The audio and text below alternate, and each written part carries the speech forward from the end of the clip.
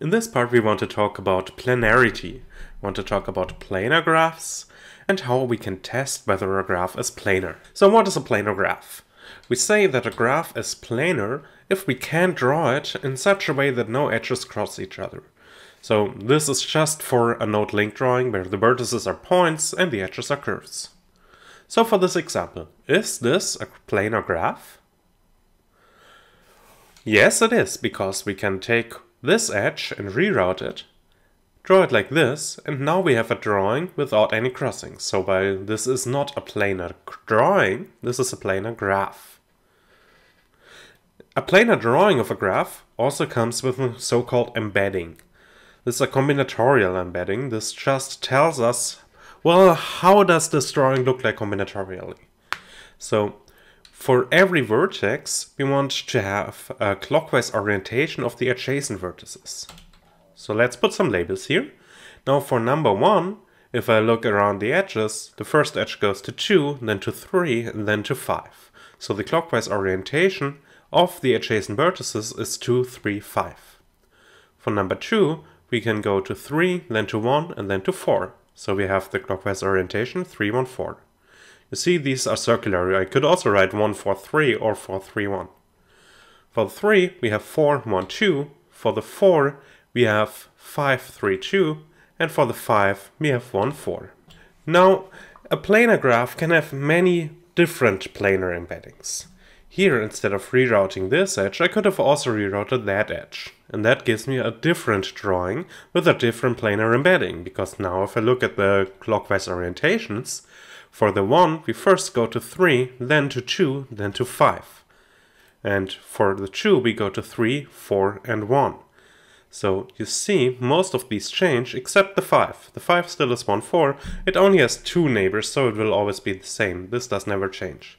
But all the others, there, the order of the adjacent vertices is switched. So now we have two different embeddings of this planar graph, but a planar embedding can also have many different drawings. We don't have to draw it like this, we can move the vertices around, we can change the curves. Here I even flip this curve to the other side, and it's still this combinatorial embedding. So for every embedding, we can have an infinite number of drawings. And a planar graph can have many different embeddings. Now, if we have a planar drawing, then this defines faces. A face is a connected region of the plane that's bounded by the edges. So in this example, this here would be a face. And we get the same face in both drawings of the same combinatorial embedding. We have this face, we have this face, we have this face, and we have this face. Now, there is something that you probably realize that it's slightly different. Because those regions that we have, there is always one unbounded region, which is the so-called outer face. And in these two different drawings of the same combinatorial embedding, the outer face is different. On the left, the green is the outer face, on the right, the purple is the outer face. All the other faces are called inner faces. To make sure that our drawings are as equivalent combinatorially as possible, we usually also specify which of the faces will be the outer face when we specify a planar embedding. But if you look here, the planar embedding is defined by the clockwise orientation of adjacent vertices around a vertex. But if I look at this face here, the orange face, this has a clockwise orientation of incident vertices 1, 2, 4, 5. Here it again has 1, 2, 4, 5. The red has 2, 3, 4, 2, 3, 4. The purple has 1, 3, 2. And here it's also 1, 3, 2. Here we have to go the other direction because if we look from the outside, from the outer face, then this is our clockwise direction. So for all the interior faces, we just look at it clockwise, and from the outer face, if you want, you can say you look at it counterclockwise, and then we get the same order of the vertices around every face. And for planar graphs, the description of the faces is actually equivalent to the description of the adjacent vertices around every vertex. So instead of writing this, we can also give a description, how do the faces look like, which vertices are on the faces and how are they ordered, and that also uniquely gives us a planar embedding and an equivalence class of all these different drawings that are kind of similar. we will now go to our first theorem, which is Euler's polyhedra formula. Euler's polyhedra formula for planar graphs tells us the following. The number of faces we have minus the number of edges plus the number of vertices is equal to the number of connected components plus 1. Most of the times we have only one connected component and then that tells us faces minus edges plus vertices is 2. And we want to prove this now. How do we do this? We do induction on the number of edges. So first prove it is there if there is no edge at all. Then how many faces do we have and how many connected components do we have? Well, we have exactly one face because there are no edges that can bound any other regions. And connected components, every vertex we have will form its own connected components because no vertices are connected. So here we have 1 and here we have n. And now if we plug that in here, we have a 1, we have a 0, we have an n, so this is n plus 1, the c is an n, so this is also n plus 1, and we're done. Now what happens to larger m? We want to reduce this to a case of a smaller m, so we just pick any edge e and we remove it from our graph. So we assume that we have shown it for all smaller m's, and then we know that after remove the edge, the formula holds. There are two cases we have to consider. The first case is that if we remove this edge, then this gives us two connected components. So this splits a connected component into two. What happens in this case? So m was reduced by 1, the number of faces stays the same, vertices stays the same, but the number of connected components goes up by one. So we have one more here, one more here, and the formula still holds. In the second case, if we remove E, we don't split a connected component. But that means that this edge E has to be between two faces. And these two faces will be merged, so the number of faces goes down by one. And now we have one less here, and one more here, so the left side stays the same and the right side stays the same, and again we're done. And this is already the whole proof. Now with this formula we can show many properties. And this is one of the most important uh, formulas that you have for graph drawing. Whenever we have planar graphs, we always use Euler's polyhedra formula when we want to figure out how many edges we have or how many faces we can have in some specific graph class. So let's assume that we have a simple planar graph with at least three vertices. We want to show three properties. The first one is we have at most 3n minus 6 edges. How can we show that?